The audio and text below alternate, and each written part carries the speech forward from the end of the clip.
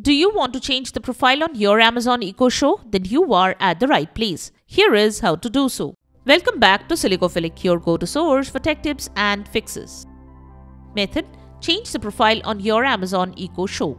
To change the profile on your Amazon Echo Show, follow these steps. Swipe down from the top of your Echo Show screen and select Settings. Inside the Settings menu, tap on Account Settings. Choose the option to add a new account. Enter the credentials for the new Amazon account you want to use. Follow the on-screen instructions to complete the setup process. Once you have completed these steps, your Echo Show will be linked to the new Amazon account and you will have access to personalized content and settings associated with that profile.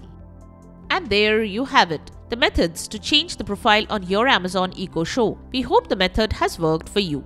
Check out the description below for links to purchase the tagged products. If you found this video helpful, don't forget to give it a thumbs up and subscribe to our channel for more tech tips and troubleshooting guides. Leave a comment and help others know about this video. Thanks for watching and we will see you in the next video.